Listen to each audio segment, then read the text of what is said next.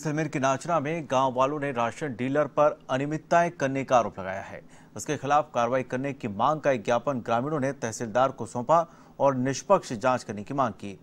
लोगों ने आरोप लगाया है कि राशन डीलर की ओर से दुर्व्यवहार भी किया जाता है। इस मामले को लेकर तहसीलदार डालूराम ने मौके का अवलोकन किया। इधर डीलर भगवान दास ने बताया कि गाँव ज़्यादा है नौ पंचायत के ग्रामीण नाचना आकर राशन ले जाते हैं। सभी को जल्दी राशन सामग्री चाहिए। काम अधिक होने में कभी कभी कहा सुनी हो जाती है।